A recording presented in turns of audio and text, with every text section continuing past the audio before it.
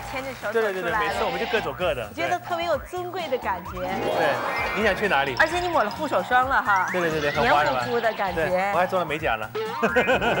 哎，真的，我我说实话，因为你现在给我们的印象都已经是一个企业家了。现在作为女企业家，一般人都会用什么词来形容你？哦，女强人呀、铁娘子啊，啊，什么强人所难的女人啊，对啊，他们叫女强人。莫莫愁啊，或者说灭绝呀、但你知道我对不对？对对对是，那你你你要给我介绍跟我一样的人认识吗？嗯，这个人跟你不一样。你如果是一个铁娘子的话，她应该是个金娘子。其实你说的这个词儿啊，金娘子，我第一次听说，不过我觉得用在她身上挺合适的，对。因为你你想，她的老公都管她叫老师，对，而且她老公拍戏要不用她呢，就没票房。哎，别别别别，这有一句说一句，她老公的每部戏都有票房啊对但她是一个福将，那她老公要用了她以后就更有票房。锦上添花。是她老公名字里有个刚，所以他们两个在一起真的是金呃金刚，钢筋组合。钢金属，那咱俩呢？咱俩混凝土。对，混凝土混凝土。那今天那个大家知道了，如果说老公名字里有刚，老婆又是金娘子，这个在演艺圈真的不太多。而且呢，十一月份他主演的电影，哎呀，很大的一个电影，大什么叫片很大？很大的一个大片儿电影就要上映了，希望大家来支持这部电影，叫什么？一九四二，一九四二。那我们请剧中的主演，有请徐帆，有请。张六请。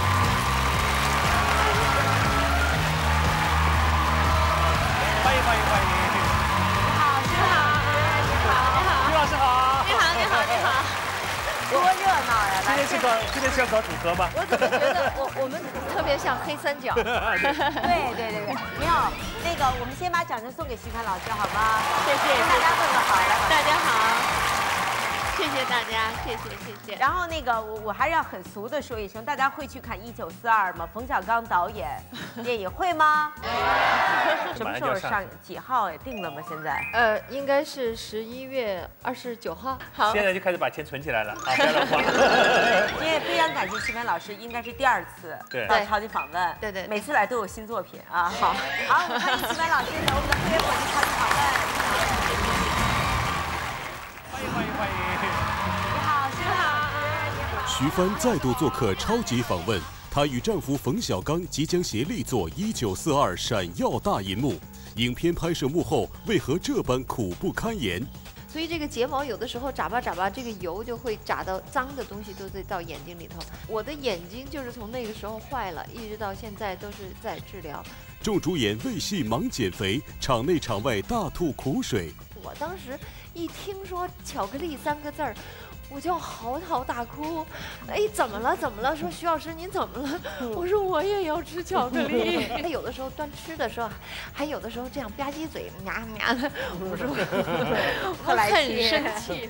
作为出得厅堂、下得厨房的贤淑妻子，徐帆会怎样替丈夫冯小刚分担压力？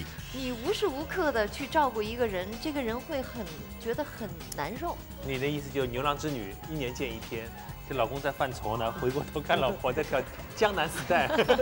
徐帆面对时尚新鲜事儿，为何会有如此怨言？你孩子不会用电脑，我我们都是这么轱辘的，没有这么轱辘的。那不是有那个东西跟小汽车一样，玩具汽车？啊就是鼠标上有个小轴、小圆圈对对对。在对女儿的教育上，这对严母慈父又会有怎样截然不同的举动？完了，做完作业可以看一下，但是他呢，有的时候超过了时间，我就不让他看了。他会说：“爸爸，我想看电视。”爸爸就说：“好啊，没问题呀，上床看。”女儿有点怵我。带您了解一刚一柔的金娘子徐帆。更多精彩故事尽在本期超级访问。爹，啥叫特红呀？没有吃的嘞，出门寻吃的，这叫套黄。你让我套个活命，把我卖了吧。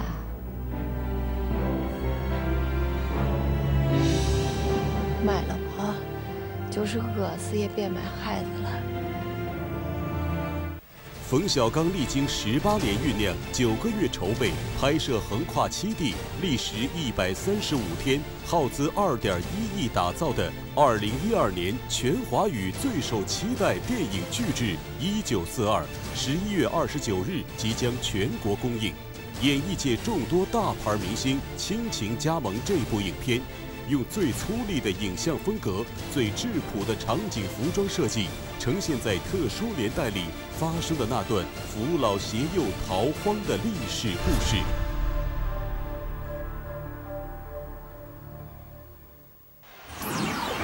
好，欢迎回到超级访问。我们话题呢就特别有趣，就要落到这个马上要公映的冯小刚导演作品叫一九四二，一九四二，然后徐帆老师是主演对吧？对。还有其他的主演吗？有有有，其实我介绍一下啊。嗯，里面有张国立、陈道明，有李雪健，哦，嗯，还有张涵予，还有范伟。大腕儿，还有冯远征，女的还有还有女的还有王子文哦，还有那个张默啊，好多张默是女男的吧？张默是男的。你们演的都是逃荒的，对，所以你们所有人都是灰不灰不露出的，就是这些天都是跟难民一样的在拍这个戏，而且说的全是河南话，是这样吗？对对对。对，因为你我我觉得你说的那个灰不溜秋的特兴奋哈，因为我觉得我听起来你们就特别苦，对，哎我怎么这么兴奋？注意你的情绪。但我觉得挺好的，我觉得这个特别正常，因为因为为什么呢？因为我觉得之前我看到这个剧本的时候，我也没有想到有这么的苦，我只是觉得哦难民，但是我不知道这个难民要难成一个什么样子。嗯，民我是知道的，大家一起，但是难成什么样子，其实我自己是没有想到的。包括当时在试妆的时候，就是打扮的也是嗯，呃，脏脏的那个。但是呢，因为周边的环境都很好，所以就觉得哦，这是个造型，还没有完完全全的进入了这个环境里头。可是，一旦真正我们到了这个环境里头，你就觉得跟真的是一样的，因为我们在。有高楼大厦的地方完全拍不了这样的戏，只能到一些，就是全部都是很旷的地方，没有都没有一棵树的地方，穷乡僻壤，对对，那种对，太就可能它都不是一个城镇，它因为它是一个军事训练的地方，那些地方那些地方都是都是训练坦克的。就在那种地儿一拍拍一天还是不，我们好多天都在那里拍，所以那个地方可能你就说演员，呃，和群众演员的区别就是演员有一个帐篷，他就多了一个帐篷，跟其他的也没什么区别，因为帐篷里头，因为我们要化妆啊，这些东西都是，啊，要这样子的，所以特别苦。当时我们我们的。我们所有化妆的时候，化完了之后要有一点油在上面，完了吹土，吹土是我的眼睛就是从那个时候坏了，一直到现在都是在治疗，因为长长时间的，我们有五个月吧，在那儿吹土，吹土就睫毛上，你不可能哪儿都脏脏的，睫毛上很干净也不可能，所以吹是一样的，所以这个睫毛有的时候眨巴眨巴，这个油就会眨到脏的东西都在到眼睛里头，所以。就特别痒，老是看什么东西呀？老是有分泌物，看什么东西都不清楚。后来到医院去，到同仁医院，人家大夫跟我说说你的这个这个视网膜太脏了，所以说你到哪儿去了？怎么就这么脏？所以我工作环境没有办法。谁工谁干那个吹你们的那个人啊？啊，化妆组啊，都这样子。真正的是土吗？呃，油油。你就是有那个粉末，就是那个很深颜色的粉末，粉末还有土也有土，因为有那些。土撒在头发上都掉下来的，你不所以你们在片场会认识对方吗？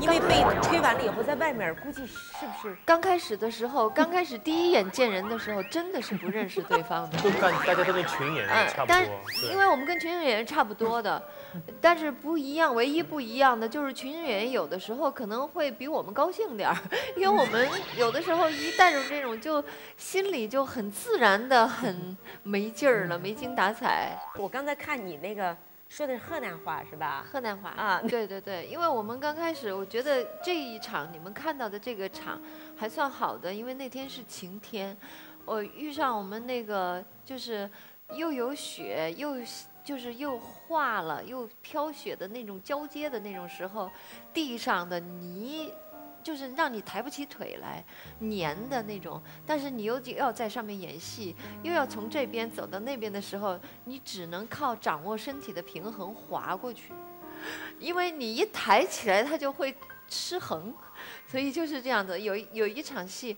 就是嗯，冯远征要卖我们的女儿，我跟他抢啊什么的，那在现场都都摔跤的，手经常就歘就站不住了，就歘到泥里头去了。完了之后说再来一遍吧，就是这样子。为让演员能在外形上、心理上都能最真切地找到影片中所要表达的饥饿的感觉，导演冯小刚不惜让众多演员切身体会挨饿，控制体重。我从昨天中午就喝了一碗粥。到现在就吃了三个鸡蛋，你吃三个鸡蛋，三个鸡蛋管用吗？我今天鸡蛋也没有吃啊，我。苏打苏打饼干要不要？不要。我坚决要在这两天再瘦，我已经今天称已经六十五了，就是把这几天稍微的浮动了一点，给全给降下去。全组都在减肥，全体演员都在减肥。这样我反正是张国立、徐帆最不希望我减肥，因为他们觉得我要再减，他们就更受不了。所以，所以我我比他们稍好一点吧。那那像张国立、徐帆他们怎么减？不吃，真的不吃，就生饿着。每天吃一点青菜，每天吃一点粥。那冯导陪着你一块儿不吃？他得吃啊，他不吃干他不吃，他体力上跟不住啊。他那上微博好像还他们吃饭的时候好像还喊喊演员。对，他们一般的是吃完饭以后在在餐厅开会，所以这是对演员来说最痛苦的一件事。这组的所有演员都得往那难民的方，怎么不找我没有我我觉得冯导这点做的就不厚道。怎么了？就是你们开会开会了，为什么要在餐厅里开会呢？因为餐厅里够大呀。只有餐厅里大，但餐厅有那饭味儿熏着多饿呀！不是，是，但是我们这个剧组的饭挺好吃的，就是因为很好吃，所以我们才特别 特别难。每回张国立一我们在帐篷里的时候，一端上来好几保温箱的，一打开，张国立一到这种时候就出去了。那我呢，有的时候也不行，我说那我。蘸一点儿吃的，哪怕尝尝这咸淡味儿吧，我要精一点，因为我我有低血糖，所以我要太饿了吧，晕过去影影响工作也不好，所以我就会在这里稍微的尝点味儿。反正那我觉得闻也是也是让我享受一会儿的，我觉得 我高兴一会儿算一会儿。有没有拍这个戏不需要减肥的人？不需要有啊，就那个就是他们。国民党那一撇的，刚才我看陈道明演的是蒋介石，对对对对，范伟不用减肥，范伟范伟不用减肥，因为他演的是一个伙夫，所以 就可以。但是因为有的时候会减着，有因为有的在在就是灾民有的会瘦，但是瘦的瘦的到一定的程度，因为他吃树皮的这些东西，它会让人肿，就会他会胖起来，是另外一种感觉，所以也有的。有的人是瘦，有的人是胖，也都合适了。嗯，但是我觉得远征的减肥他适量的，但是我们很生他的气，确实很生他气，因为因为远征很占便宜，他的脸是瘦长的，他不用减呐，都很很显瘦了，而且拍出来那个他的脸上有轮廓，拍出来是瘦长的扁的。所以我们一看到他的时候，他有的时候端吃的时候，还有的时候这样吧唧嘴，呀呀的，很生气。但是我觉得大家在一块儿啊，还是很很可爱，很可爱。因为我们拍这个戏，导演是觉得我们基本上都是按照这个逃荒的那个时间顺序去拍摄的，所以就是人在一开始逃荒的时候还不至于。那么瘦，但是在逃着逃着逃着的时候，就会慢慢越来越瘦。所以导演呢就会要求我们，就你们演员在这种过程中要，一个是化妆是重要，但是真正的让他消瘦的话，有的时候那种感觉，他的那种气力、演戏的感觉也都是画不出来的。所以这样子的话，我们演员也都。挺自觉的，觉得导演说的这个要求是对的，所以我们在整个的过程当中，从一开始好还好一点，到稍微到末到第二阶段的时候，我们就开始减肥了，越拍越瘦，越拍越瘦。减肥减肥，就这个减肥的，我我我，就减这一次肥，我就觉着我永远都不要减。我觉得我这是第一次减肥，以后也再也不要减。为什么？你减了多少斤？我减了八斤，但是这是在我的。他有啥可减的呀？问题是，我本身就一百斤，再减八斤就九十二斤，所以九十二斤的时候，我我的人都，我我要保持还能工作，但是要再往下减的话，我就就就每天都这种摇头的动作不敢多了。你想吧，他那么瘦，然后迅速减肥，而且在那种雨夹雪拍，把人拍精神崩溃了，因为你你体力啊，包括。我觉得很多时候是精神崩溃，就是那种情绪的东西，对不对？嗯，但是有的时候就是我们当时减的时候吧，就张国立比我更厉害，他减了大概有十八斤还是十九斤，所以他每天就跟我说，哎。你看看，你摸摸我这儿全成板儿了，但是为什么脸上？因为我和张国立两个人都特别吃亏，因为我们脸上没有轮廓，瘦嘛也不是特别明显，但是身上瘦的很厉害。张国立就跟我说：“哎，你摸摸我这儿就成肋叉子了。”他说。可是我的脸还是不觉得很瘦，我说我很理解你，你天天让我摸，可是我不能天天让你摸呀。哎，我张国立他不吃饭吗？他不不吃，他特别有毅力。所以有一天张国立在拍到要上城墙，上城墙就是上到那上头去看，所以那天呢拍的时候就要他上。他是第一次上去了，完了之后再下来说要开拍，又在上的时候他说不行，他说停一下，他说谁有那个谁有巧克力呀？能给我一块吗？因为我们。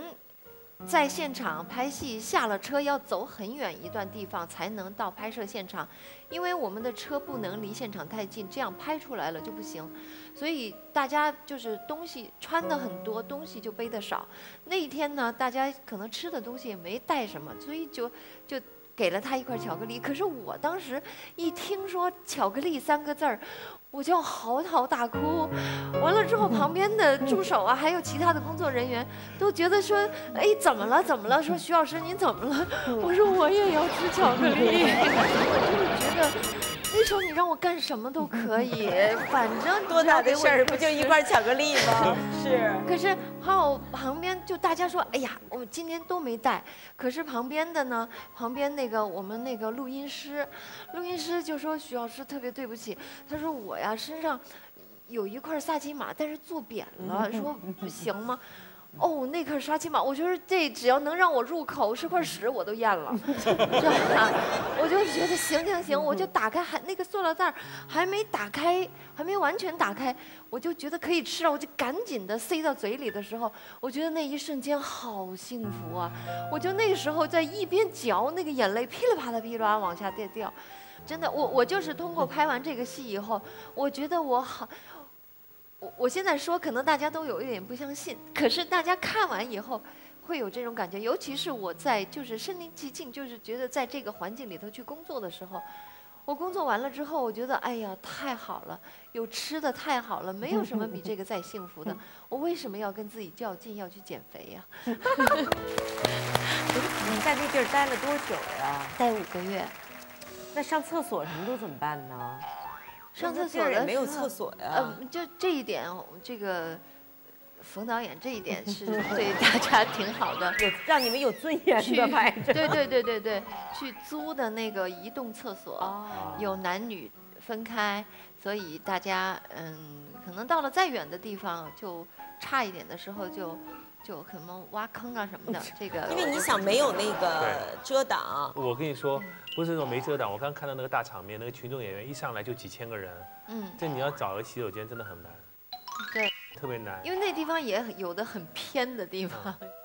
作为出得厅堂、下得厨房的贤淑妻子，徐帆会怎样替丈夫冯小刚分担压力？你无时无刻的去照顾一个人，这个人会很觉得很难受。你的意思就是牛郎织女一年见一天，这老公在犯愁呢，回过头看老婆在跳江南 style。身为人父，冯小刚对小女儿到底有多溺爱？你什么时候回啊？他爸爸说再有一会儿吧。他说十分钟。他爸爸想都没想就说好，呃，一会儿就回来。他说我在那儿还跟人侃文学呢，还还装文学青年呢。结果他一说十分钟，我撂下电话就走了。在对女儿的教育上，这对严母慈父又会有怎样截然不同的举动？完了，做完作业可以看一下，但是他呢，有的时候超过了时间，我就不让他看了。他会说：“爸爸，我想看电视。”爸爸就说：“好啊，没问题呀，上床 看。”女儿有点怵我。带您了解一刚一柔的金娘子徐帆，更多精彩故事尽在本期超级访问。你开始喝百分百果汁了吗？汇源百分百纯果汁，一口一个真水果，纯水果无添加。你开始喝了吗？爱健康，从会员百分百开始。欢迎来到静佳美丽王国。给脸做瑜伽，静佳四 D 提拉紧致面膜，特有挂耳设计，V 型小脸美丽绽放。静佳畅享自然能量，我们都在乐蜂网。做一时的剩女，偶尔孤单寂寞冷；做永恒的剩女，只留下羡慕嫉妒恨。乐蜂网美丽逆行十一月，万款产品买一赠一，圣女节天天双十一。我刚发现一个事儿，他挺逗的，那个冯导教您是徐老师。嗯，你刚才说冯导演，你们两个就相互之间平时生活中也这么称呼吗？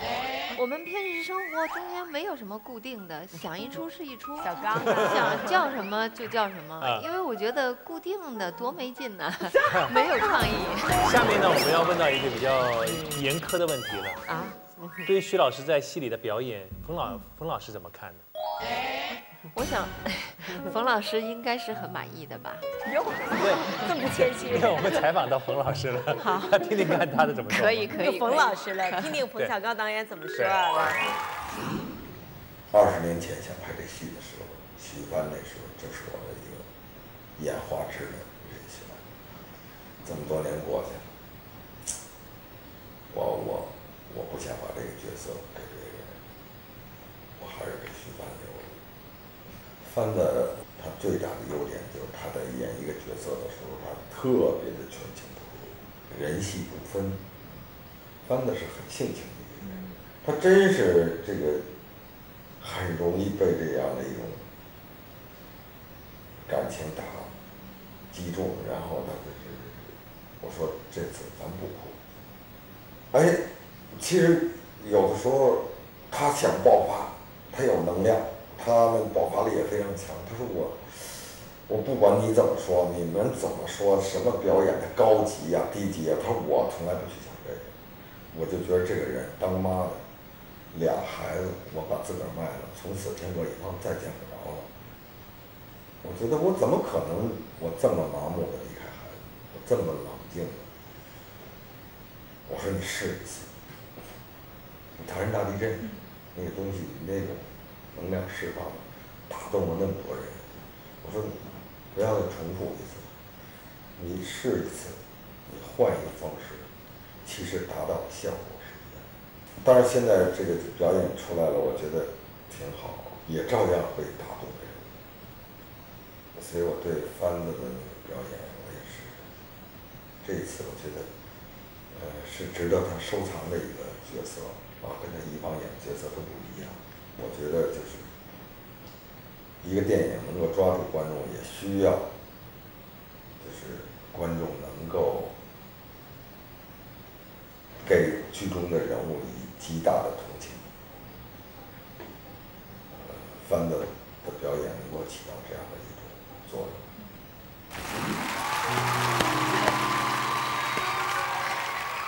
我特别那个羡慕你们俩，嗯，又是夫妻，然后又能。一起去创作这样一个作品，即便在那个那么，就呃怎么说那么艰苦的地方，我觉得你们的脸上荡漾着一种幸福感。对，我也挺羡慕 这两口子的。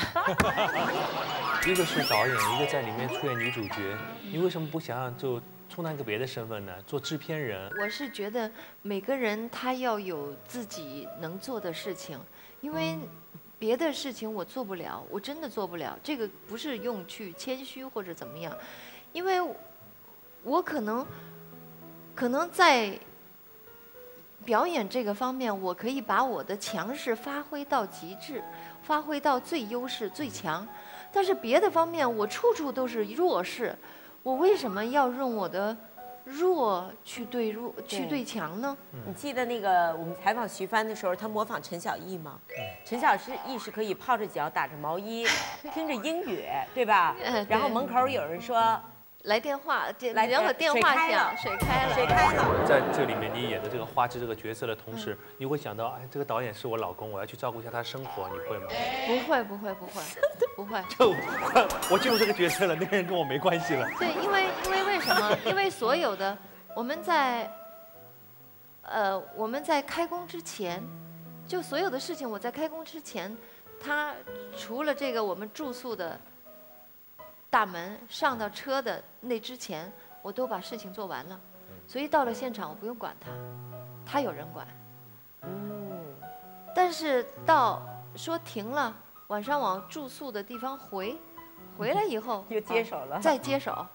我就是说这样子的话，我做工作的时候也会轻松，他也会轻松。我就觉得，你无时无刻的去照顾一个人，这个人会很觉得很难受。这两个人之间啊，不能老在一起。他这太聪明了，就是你的意思就是牛郎织女一年见一天，不是见的问题，你不能。三分钟关心他一次，我告诉你，男的一开始特高兴，你饿吗？你冷吗？他说，哎呦，这媳妇真好。你每天这样，他说烦不烦呀？对对。我就把握节奏，三个月，当他觉得他怎么不问我的时候，问一次，就是这个，对吧？对 对对。一年问四次是吧？几天问一次？因为拍这样一个戏，那么那么多的大腕明星要投入那么大的资金，那冯导他遭受压力的时候，你会去帮他分担些什么呢？对，换句话来讲，戴军这问题问，他是个就是他压力很大，非常大，嗯，他的压力非常大，因为好多的东西吧，他是不能不管的，因为可能他要管的这事情的所有的节奏都会短，时间都会短一点，所以这样子的话会节约时间，所以这他要是那不能不管，要是管了以后呢，就会就会有压力嘛。好，预备。开始。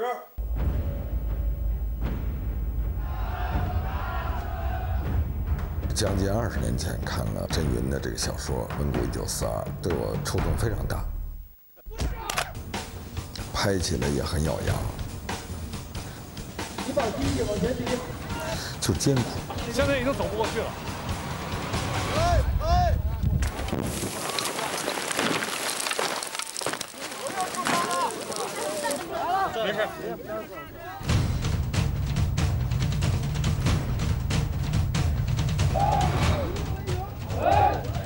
制作的复杂程度啊，包括付出的体力，都非常的非常大。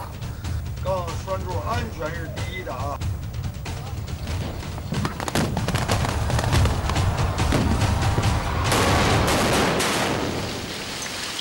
好，再拍一条。我们把。不可能变成了可能。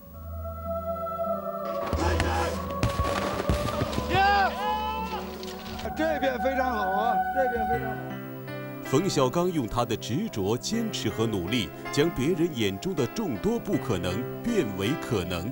作为导演，他要承受难以想象的压力；作为妻子，徐帆用自己独到的方式，一路默默地支持着冯小刚。您会帮他分担什么呢？不给他添麻烦就是最大的分担。分担最好就是老公，我给你跳一段艳舞吧。他一高兴就忘了。老公在犯愁呢，回过头看老婆在跳江南 style。哎，我觉得特别好。神经病。那个冯导这两年的，就是那个脾气怎么样？好点了吗？以前脾气特别，我觉得冯导特别可爱，就是这样的。冯导有个外号，哎，仨字儿。什么呀？小钢炮。小钢炮。作为娱乐圈的知名导演，冯小刚火爆的脾气和犀利的语言几乎是世人皆知。性情直率的冯小刚，一有看不惯的事情，他便立马开炮，时常语出惊人，是将语不惊人死不休进行到底。可作为亲密爱人的徐帆，是否会劝说冯小刚在言语上有所收敛呢？他的微博里面，我们也看到了小刚炮。哎，他现在脾气好点了吗？还那样。其实我觉得，我我不觉得他，哎，反正这都因为不不一样 哈。说两说两句实实话，代价是很大。我特别喜欢看他的微博。来，现在媳妇儿不让睡觉，苦口婆心央求，看在我和孩子的份上，少说两句实话行吗？后来呢是兄长卢道明，声色俱厉的质问：你不说实话能死吗？刘以道明。道明兄的一句话触动了我，他说：“你得多大的好跟我没关系，你倒多大的霉跟我有关系。说两句真话，竟让家人和朋友如此不安，我认栽收声。往后呢，我嘴里没实话，大家包容啊。”这个赌气吗？我怎么觉得他说这话特别有情绪的？对，他是经常会 拦不住吗？你？反正有的时候遇上一人太说实话，也是挺着急的。可能要是别人，我也不会着那么大急，因为自己家人都是盼着他不遭罪嘛。因为有这种遭罪的时候出现，所以就不想可是你知道，他说完以后，我们都觉得说出了大家的心声，多高兴的。说实话，大家也很高兴。像我是也是属于那种看到什么事都会往外说的人，所以戴军没有开微博。我更狠。哦，对他不能开，我也没开。因为我根本就不会写。对你，你喜欢用这些微博啊，就不用。我我的手机都是很好的手机，但是我只会接听和发短信。微信呢？不会。啊，微信你也不用啊？电电脑呢？不用。那剧本怎么办？剧本是现在刚刚会在电脑上看剧本，那也是助手把它弄好了，我只会这样咕噜咕噜就翻译过去。哎，你是不想学还是咋回事？你还是不会用电脑，我们都是这么咕噜的，没有这么轱辘的。那不是有那个东西跟小汽车一样，玩具汽车，就是鼠标上有个小轴、小圆圈。对对对。玩的是鼠标，你不是拿着那个平面电脑自己在，你你在剧组里面还带个台式啊？我在剧组，我就我就是纸做的，就是纸就是纸印刷的。你是没兴趣呢，还是就学不会，还是？我先是，我我没兴趣。第二就是我根本就不想学，因为为什么？我我觉得我很讲究这个手感。嗯。我觉得我看东西，我要是那么看，我没有感觉，我不行。因为如果是剧本的话。我我的首先我的剧本的字儿要这么大，呃，我才能看得见。所以这样，因为有点有点花了，所以要特别大的字儿。所以这样子的话，作为剧本来说的话，我可以在哪一句话下我做记录。要是电脑，我在那个地方做记录，我不知道该怎么做。所以我在纸上会天天翻来倒过去，翻过来倒过去。我看完之后，我还可以翻过来再。再看电脑有很多其他的用处呢，比如说购物，我我好像用不着。我觉得我要是购物不上现场去购的话，我觉得像人家现在好像说开的贵宾室啊什么的，好多都把挑好的东西放在那儿，你就在贵宾室里头去选那些都好，我就觉得那有什么劲呢？那还是逛商场吗？我觉得逛商场就得逛啊。他还比较喜欢实体购物。那你不玩微信吗？就直接现在很多朋友都是。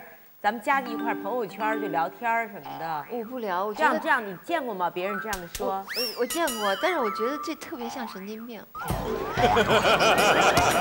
你比如说一帮人吃饭的时候，现在不都玩微博吗？大家都不说话，这样玩。没有一帮人吃饭的时候，先拍菜，上了菜以后说别动，我先拍一张。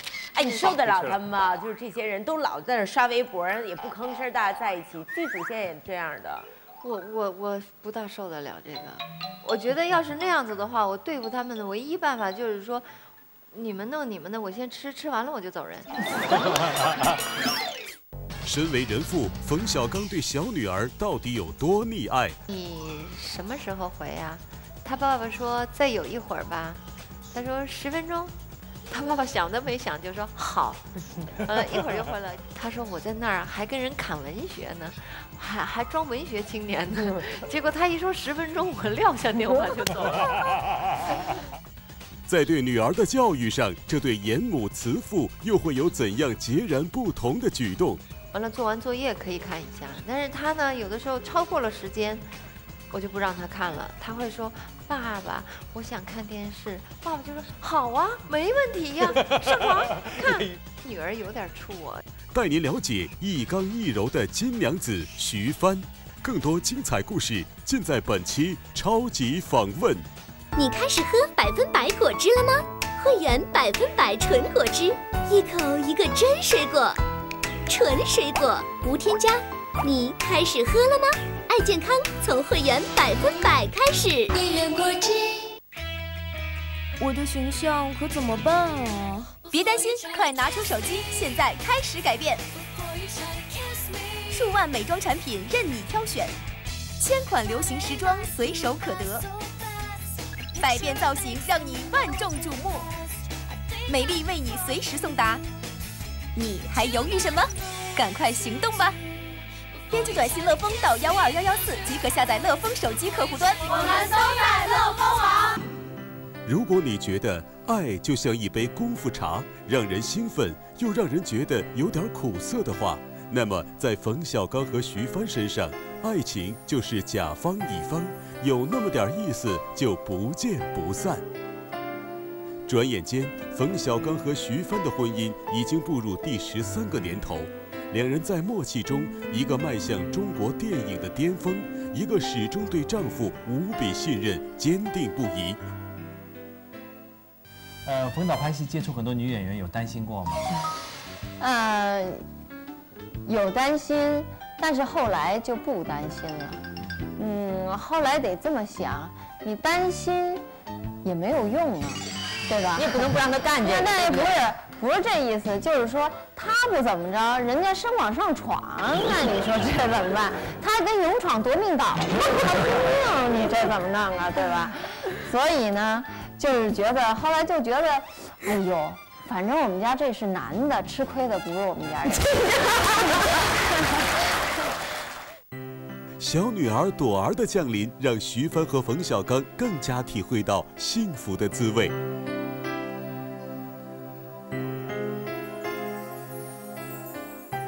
为一个妈妈，嗯，你觉得自己是一个什么样脾气性格的人？是一个暴脾气、好脾气，还是一个宠爱孩子的人？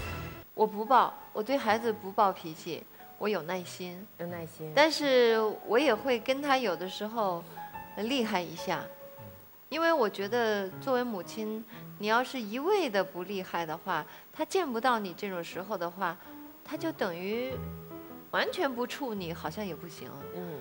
但是我就觉得我的各种情绪都让孩子见到，这样他会他会就觉得不觉得很奇怪。是，就五岁了是吧？七岁了，真可爱啊！我知道的就是说，好像基本上冯小刚导演更溺爱他。对对对对对。他就敢欺负他爸是吧？对对对。这里面谁？我告诉你，他们家就是他能治着冯导，对吧？对对对对。你知道，你知道，他有种献媚的表情，我觉得 啊，他在你女儿面前有一种那种献媚的表情。嗯，但是就是虽然是这样，但是你就是说在电话里跟爸爸说话，嗯，不打电话。但是到了晚上会说爸爸怎么还不回来呀？他是我觉得他因为有了孩子哈，就是我们两个人都被孩子盯死了，就每个人一到电话说爸爸上哪儿去了，回不回？他什么时候回？有一次他爸爸跟他打电话。他，他要睡觉了。我说：“那你跟爸爸说一句，你要睡觉了吧？”他说：“好吧。”他跟爸的爸爸打电话，爸爸说：“他跟爸爸打电话说，爸爸，你今天回不回呀？”爸爸说：“回呀。”那你什么时候回呀？他爸爸说：“再有一会儿吧。”他说：“十分钟。”他爸爸想都没想就说：“好。”呃，一会儿就回来。其实。他回来以后，我就笑他。我说：“你怎么这么迅速啊？”他说：“我在那儿还跟人侃文学呢，还还装文学青年呢。”结果他一说十分钟，我撂下电话就走了。哎，我跟你讲，要老婆肯定没用，真的。老婆说十分钟，跟俩小时以后到家不错了。没用。我说我说这确不实我不是故意的啊，但有的时候呢，他见着爸爸吧，都是爱答不理的那种样儿。弄得爸爸吧问我说他今天问我了，我说问了，我就说，我说的那些，我说你肯定觉得我是假的是吗？他说为什么？我说因为他一见到你跟跟我说的那个完全不是一个表情，你知道吧？他说我又我我不觉得，我说那就好，你只要相信我说的是真话就好。哎，他这一招很高哎，很多人都是这样，就是，嗯、其实我很喜欢你，但是呢，我又不会让你觉得我对你那么喜欢，那么在乎，这是大的女孩才会有，这这么深呢？这很深哎，因为我而且我觉得，其实大人都是因为孩子展示出性格那么，你看冯导在我们心目中是一个那样的男人啊，嗯。但是我觉得，因为我看到这样男人都是被女儿俘虏的。嗯。就是他在女儿面前，就我看到无一例外，尤其这个圈子的人，嗯。他有特敏感的一面，他能对。还能做好艺术作品，所以他特别不一样。你觉得有了孩子以后，呃，小刚导演的什么的性格让你感觉到是以前没有的？我觉得他有耐心了，就会原来都是急的呀，什么似的，但是现在会有耐心了。你要是说别的小孩儿，他就知道啊，挺好，挺好，挺好就完了。可是，在他孩子原来小的时候不怎么会交流的时候，他也是最大的热情十分钟。但是现在呢，能够哎能玩儿，可能玩四十分钟都行。怎么玩儿？趴地下他不他跟女儿，他们俩，他女儿爱画画，他们俩就画画。呃，这女儿是很崇拜他爸，就是爸爸画什么像什么。他爸可不是学美术出呃身的吗？他他爸，他跟他爸说，那个有一次画的一个东西，他说妈妈，你看这是什么？我呢还要假装说知道，但是确实没看出来。我就说，我说，哎，你画的这个东西还挺好的耶。我说你让爸爸猜，看看爸爸猜不猜得出来好吗？其实我完全看不出来。但是他让爸爸猜，爸爸说，啊，这是一个是一个人翘着二郎腿是吗？他说对了。所以我就是说我天生跟美术是不搭嘎的人。冯导对女儿会溺爱吗？腻腻腻也溺爱。腻，因为有的时候，比方说看电视的时候，嗯、因为我经常会说赶紧洗完了就上床，就就是看电视的时候特别少，让他看电视，就是星期六、星期天的时候，完了做完作业可以看一下，但是他呢有的时候超过了时间。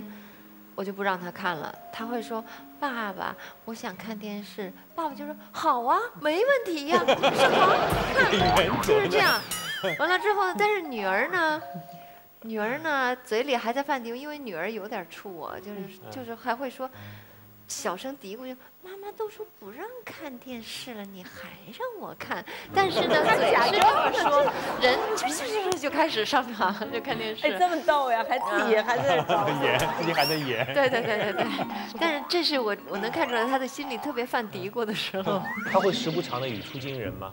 他说的还好了，也都是些家常话。啊，会就是你们一起出去的时候，他会跟人说，我爸妈是大明星，会说吗？他不会，他根本就不知道，他只知道他爸爸是导演，他妈妈是演员，但是导演是多大的腕儿，他不知他道。不会像蒋雯丽的女儿过去拉着路人说，你看那个蒋雯丽，对，小孩都有那么一段儿。我女儿好像这方面迟钝一些，她确实是迟钝那。你跟你们有关，你们不会去过多的去暗示她这种我我不不不，我就随她，我就是随她的多。呃，有的时候呢，我只是说在，因为我女儿为什么有的时候，她的睡眠，她太，她老是喜欢睡觉，她到现在这么大，她睡十二个小时。她要不睡十二个小时，她老像困的，所以她是个睡仙。我我就说她是睡仙，她自己喜欢睡觉，所以像她这么大孩子，有很多孩子都已经只是睡十个小时和九个小时了。十个小时对她打不住，所以我就是觉得，哦，你爱睡觉你就睡去吧。我知道那个徐帆后来在做那个 M 计划，嗯，对，M 计划我我感觉是 mother 呃嗯。第一个字母，跟你做妈妈有关吗？这个计划？有关有啊关。你是想帮助哪些哪些孩子呢？这个 M 计划，常去的有一个福利院，那个小孩子，他很，他是八岁的时候吧，哈，嗯，家里的父母带他去玩儿，完了之后呢，就出了车祸，嗯，自己就。就就剩下自己了，那么父母都没有了，家里也没有亲戚来找他，所以他也就从八岁一直在福利院待到十八岁，该出来了，所以该工作了。但是呢，他还不大会适应社会，所以有的时候去跟他聊天儿啊，这样子的话，他也他就是因为这个紧张，从八岁的时候开始开始十年睡觉不敢关灯，所以这个不敢关灯呢，这样就会给他的睡眠带来很大的障碍，就是神经会紧张，所以他嗯那个皮肤会经就是就会有神经性的皮炎，但是当时不知道，就觉得痒一片一片的，所以那时候不知道就给他带去看，但人家就是问他你睡觉关灯吗？他说不关灯，所以这样子的话，大夫说他是神经性皮炎，所以就让他晚上习惯睡觉关灯，完了之后呢，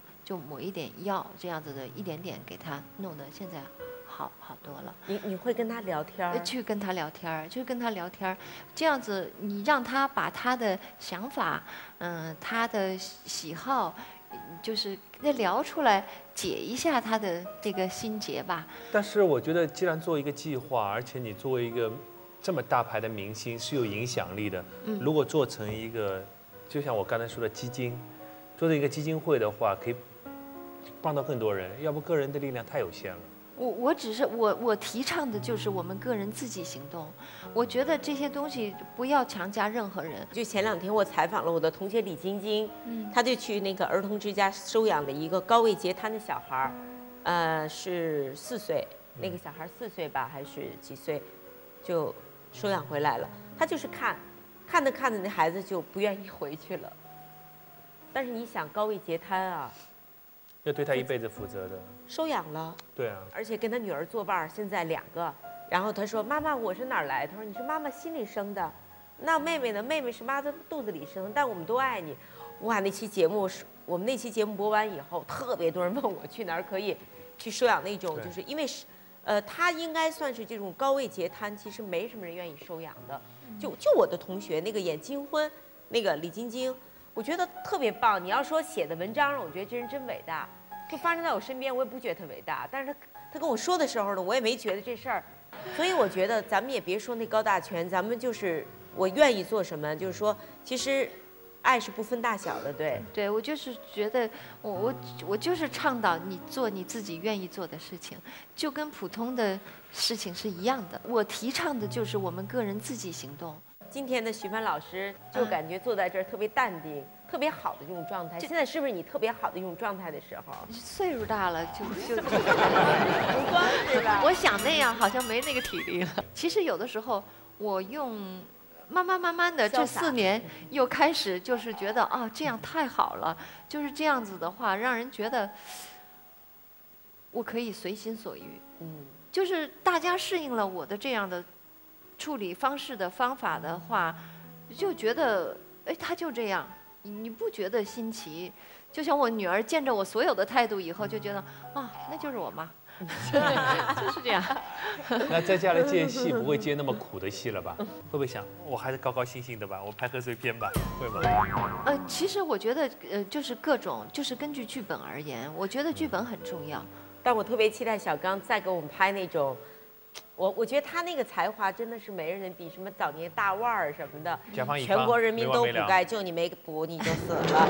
我觉得他那种对生活的那种黑色幽默啊，无人能及。我是希望大家对不对？我们还是希望导演都给我们拍这样的有说嘛？有。说嘛？接下来贺岁片还要启动起来。他会的，他会有，他会有，他们的剧本都做的差不多了。还有每年过年没有贺岁片，就好像少点什么。而且导演的贺岁片老有很多那个客串的，对对吧？你客串过一次好像。没有，从来没找过我。啊，真的啊，下次啊，下次我们那个需要减肥的时候一块儿去，然后也希望大家支持即将上映的《一九四二》冯小刚导演的作品，谢谢徐帆，谢谢。来，谢谢。本期幸运观众将获得由中国汇源果汁集团提供的汇源果汁果乐或果鲜美。嘉宾呢也可以通过我们超级访问的官方微博和嘉宾没微博，我也没微博，可以更更好，官方网站乐蜂网的超级访问专区，你们俩怎么都没微博啊？可以通过我们冯小刚导演的微博 一起跟我们互动一下。好好好，对，然后同时呢，我们要祝愿十一月底，大家记住啊，一九四二票房，192来来一起来，哎，成功啊！票房大卖先说。票房大卖，本期《会员果汁超级访问》成功，建议成功。